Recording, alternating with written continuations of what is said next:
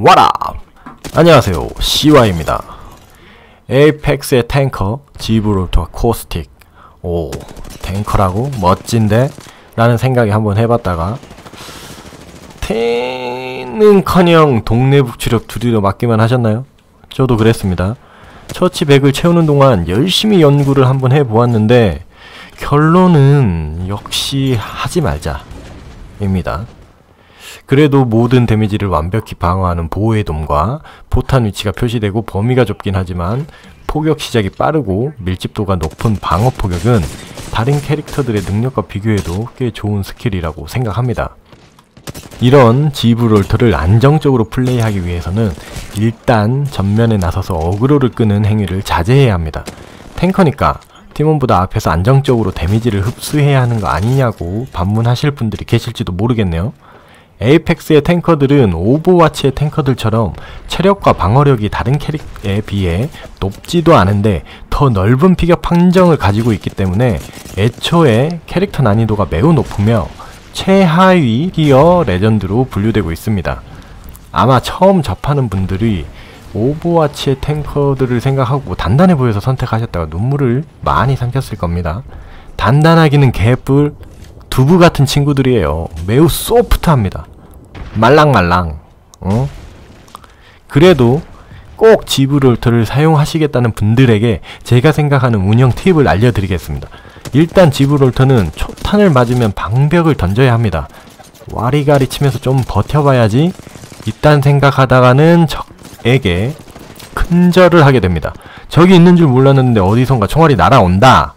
생각이라는 것을 잠시 멈추고 그냥 방벽 던지세요.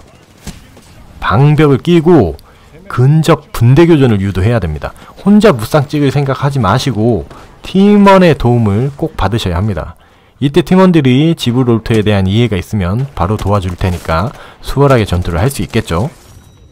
방벽을 던졌는데 적이 접근을 안 한다. 이런 경우에는 사실 할 수 있는 게 없습니다. 그저 적 위치를 확인하고 다음 방벽이 올 때까지 적의 반응에 맞춰서 풀어나가야 합니다. 괜히 섣불리 접근하다가는 음 그냥 사격 연습 표적지처럼 구멍만 뚫릴 겁니다. 그러니 적들의 다음 행동을 예측하고 그에 맞는 대응을 하도록 하세요.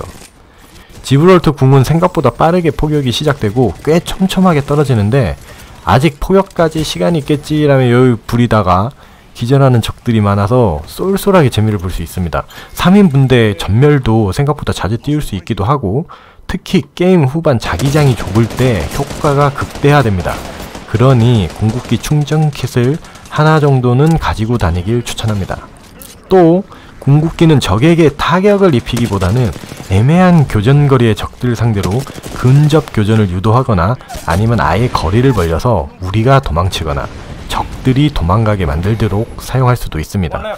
미리 말씀드렸듯이 피격 판정이 넓어서 적과의 거리가 멀면 오히려 불리하기 때문에 방벽을 치고 궁극기를 적 뒤쪽으로 던지면 포격을 피하기 위해 어쩔 수 없이 적들이 방벽 안으로 들어오려고 하기 때문에 방벽을 왔다 갔다 하면서 아군 뒤에서 서포트하는 식으로 전투를 풀어나가면 됩니다.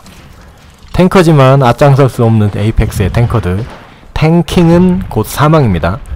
뒤에서 방벽으로 아군을 보호하다 방어구가 까져서 서로 실드를 채우는 타이밍에 적의 도주로나 접근 경로에 포격을 던져 전투를 마무리 지어보세요. 은근히 쏠쏠한 재미를 느낄 수 있을 겁니다. 지브롤터를 최대한 활용하고 싶으신 분들에게 도움이 되었으면 좋겠네요. 시청해주셔서 감사합니다. 다음 영상에 다시 만나요.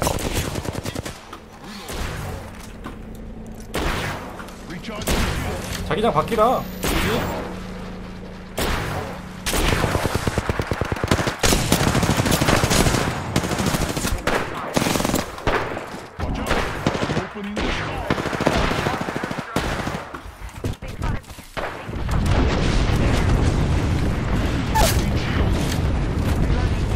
하나 다운. 하나 어디야? 오케이 죽었어 포격에. 요거 하나 보고 간다 진짜. 아이씨 더럽다. 리얼로.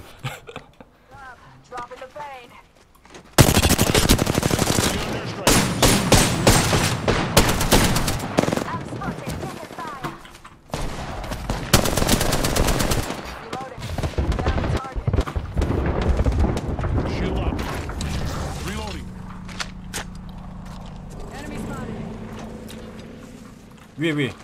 어,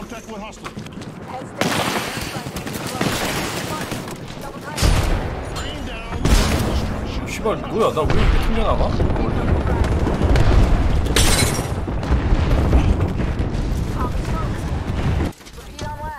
맞았어 좀. 아 하나 다운. 이렇게 다 끝났다. 이것이 shooter. 미쳤다.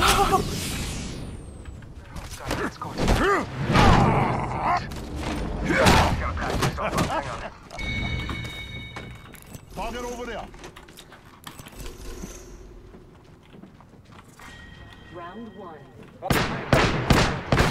그리고 방벽 사용 꿀팁. 방벽은 보다 안전하게 기절한 적을 피니시어로 처리할 수 있게 해주니 적극 활용하세요. 물론 항상 안전한 건 아닙니다. 이게 뭐냐? 야, 쟤는 왜 안 죽었어? 쟤도 죽었어야 되는데.